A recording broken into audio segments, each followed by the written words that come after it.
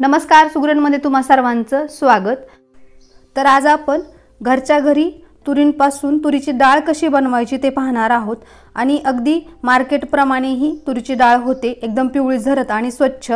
कारण तूर डाळीपासून आपण तूर डाळीची आमटी तुरीच्या डाळीचे वरण डाळ फ्राय किंवा डाळ तडका असे वेगवेगळे पदार्थ बनवत असतो. तर त्यासाठी जी डाळ लागते तर ती घरी आपण बनवू शकतो. जर तुम्ही घरच्या तुरींपासून डाळ बनवली तर ती खूप लवकर शिजते आणि त्याचबरोबर ही डाळ घरची असल्यामुळं चवीलाही खूप टेस्टी होते. तर तीच डाळ आज आपण कशी बनवायची ते पाहणार आहोत. तुम्ही अजूनही माझ्या चॅनलला सबस्क्राईब केलं न नसेल तर प्लीज सबस्क्राईब करा. कारण काय होतं सबस्क्राईब केलं म्हणजे तुम्हाला माझी प्रत्येक रेसिपीचं नोटिफिकेशन येतं आणि तुम्ही माझी प्रत्येक रेसिपी पाहू शकाल. ती मिस होणार नाही. त्यासाठी तुम्ही सबस्क्राईब नक्की करा. लाईक पण करत जा आणि शेअर पण करा. तर तुरीची डाळ बनवण्यासाठी या तुरी मी घेतलेल्या आहेत. तर ह्या तुरी थोड्याशा अस्वच्छ आहेत. म्हणजे यामध्ये घाण वगैरे आहे किंवा यामध्ये अडकण्या आहेत म्हणजे खराब तुरी आहेत. तर ह्या स्वच्छ करून घेऊयात. म्हणजे यातील काड्या किंवा अडकण्या आहेत त्या बाजूला होतील. तर डाळ करताना अगोदर तुरी स्वच्छ करून घ्यायच्यात. म्हणजे डाळ ही आपली स्वच्छ होते. तर या पद्धतीने तुम्ही चाळणीने चाळू शकता किंवा आमच्याकडे शेतामध्ये आणखीन एक चाळणी वापरली जाते. त्यामुळं जे बारीक किंवा जे खराब तुरी आहेत त्या खाली पडतात. तर या पद्धतीनं तेलाच्या डब्यापासून ही चाळणी बनवलेली आहे. कारण शेतामध्ये खूप काही घाण वगैरे असतं शेतामधून आणलेला माल. तर तो स्वच्छ करण्यासाठी अशा पद्धतीने चाळणी बनवलेली असते. तर मी यामधून सर्व घाण जे आहे ती चाळून काढते. म्हणजे एकदम स्वच्छ अशा तुरी आपल्याला डाळीसाठी होतील.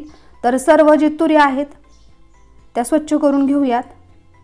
एकदम ज्या टपकळा आहेत त्याच वरती चाळणीमध्ये राहतील. खराब काड्या किंवा अडकण्या ज्या आहेत ते खाली पडतील आणि जे बाकीचं आहे ते पण आपण स्वच्छ करून घेऊयात. खडे वगैरे काही माती वगैरे असेल तर सगळी वेगळी करूयात. कधीही डाळी करताना अगोदर ते स्वच्छ करून घ्यायचं. म्हणजे डाळीही चांगल्या होतात. तर तुम्ही बघू शकता. जी गहाण आहे ती अशा पद्धतीनं खाली पडलेली आहे. तर ज्या सर्व तुरी आहेत मी घेतलेल्या तर त्या अंदाजेच घेतलेल्या आहेत. ज्यावेळेस सगळं स्वच्छ त्यावेळेस त्या तुरी मोजणार आहे मी.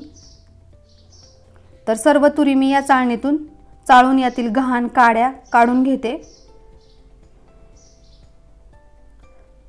एकदम पटकन या चाळणीमुळं त्या स्वच्छ होतात. खूप सारी घाण आहे कारण एकदम एकदम प्युअर अशा तुरी नव्हत्या. तर ह्या स्वच्छ झालेल्या तुरी आहेत. तुम्ही बघू शकता किती फरक आहे. आत्ता एकदम स्वच्छ झालेल्या आहेत तरीसुद्धा मी थोड्या थोड्या पाण्यात टाकून राहिलेल्या ज्या अडकण्या आहेत ते काढते. या पद्धतीने पाण्यावरती तरंगत आहेत तर त्या पण काढून घेऊयात. तर दहा ते अकरा वाजता मी हे पाण्यामध्ये स्वच्छ धुवून घेते. यातील ज्या अडकण्या आहेत त्या सर्व काढून घेते. काही खडे वगैरे असतील ती सुद्धा मी रोळून काढलेत ह्यातले. आणि या आता मी जी भांड्याची जाळी आहे तिला कपडा लावून त्यामध्ये नितळायला ठेवते कारण लगेच आपल्याला याला पाण्यामध्ये टाकायचं नाही. तर थोड्या वेळ आता आपण याला उन्हाला टाकूयात कारण अशाच भिजत राहिल्या तर त्या जास्त भिजतील त्यामुळं थोड्या वेळ मी उन्हात ठेवते. आणि हे जे खराब निघलेलं आहे ते आपण जनावरांना चारू शकतो. तर तुरी मी आता थोड्या वेळ वाळाय टाकते. कारण जास्त भिजतील जर आताच पाण्यात टाकल्या तर. आता आपण काय करूयात? पाणी उन्हामध्ये ठेवूयात.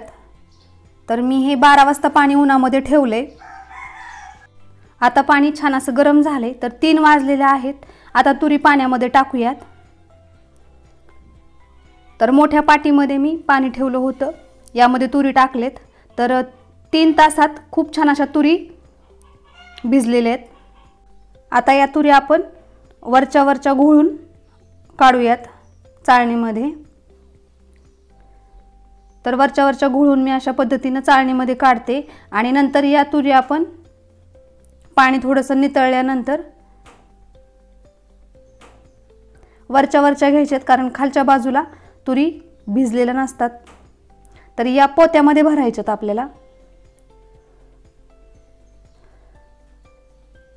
तर या पद्धतीनं रोळून रोळून आपण या बनवून ज्या भिजलेल्या तुरी आहेत त्या वरती काढून घेऊयात. आणि खालच्या तुरी आहेत. ज्या भिजल्या नाहीत त्या आपण नंतर भिजायला ठेवू शकतो. तर या पद्धतीनं. तर सर्व ज्या भिजलेल्या तुऱ्या आहेत त्या पोत्यामध्ये भरल्या भरलेत मी. आणि जे खाली राहिलेलं आहे ते याप्रमाणे असं गुरळून काढूयात. भिजलेलं भिजलेलं यातलं काढून घ्यायचे. आणि जे भिजलं नाही त्यामध्ये पाणी ठेवून आणखीन थोडा वेळ भिजून द्यायचे. जोपर्यंत सर्व तुरी भिजत नाहीत तोपर्यंत. रात्रभरसुद्धा तुम्ही हे ठेवू शकता. तर संध्याकाळच्या सहा वाजता मी हे पोत्यामध्ये भरून ठेवले. आता हे रात्रभर असंच ठेवायचे. पोत्यामध्ये भरून. सकाळी सकाळी सकाळी आठ वाजता मी पोत्यामध्ये तुरी पाहिल्यात तर ज्या भिजल्या नव्हत्या थोड्याशा भिजल्या नव्हत्या त्यासुद्धा छान अशा भिजलेत. कारण पोत्यामध्ये दणकारा असतो त्यामुळे उष्णतेमुळे त्या भिजले गेलेत. तर आता आपण ह्या पाटीमध्ये काढून घेऊयात आणि वरती वाळायला टाकूयात.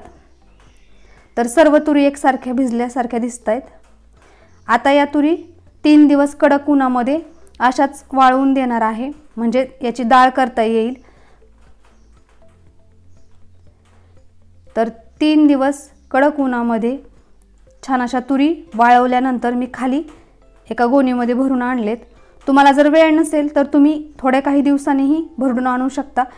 आणि लगेच जरी भरून आणलं तरी चालेल तर मी ही डाळ गिरणीवर दळून आणली आहे. कारण काही काही स्त्रियांचं असं म्हणणं असतं की आमच्याकडं जातं नाही. तर बघा पिवळी झरत एकदम कसलंही डोळ वगैरे येत नाही. एकदम उथळ अशी आपली तुरीची डाळ तयार झाली. तुम्ही बघू शकता एकदम पिवळा छान असा कलर आला आहे तर मी घरी आल्यानंतर जी आपली दळणाची चाळणी आहे त्याने अगोदर चाळून घेते. म्हणजे ज्या यातील जी बारीक डाळ आहे ती खाली पडेल डाळगा. आणि जी अख्खी डाळ आहे ती वरती राहील. तर सर्वात अगोदर याच मोठ्या चाळणीने चाळून घ्यायचे. तर सर्व डाळ मी चाळून घेते. एकदम पिवळा झरत कलर आलाय आपल्या डाळीला. तर सर्व डाळ आता चाळून घेते मी. आणि जे मध्यम आकाराची चाळणी त्याने आता हा डाळगा आणि पीठ वेगळं करायचं आहे आपल्याला. म्हणजे जे पीठ आणि बारीक डाळीचे कण असतात ते पण वेगळे करून घ्यायचे. यामध्येही भरपूर डाळ निघते. डाळगा निघतो या पद्धतीनं.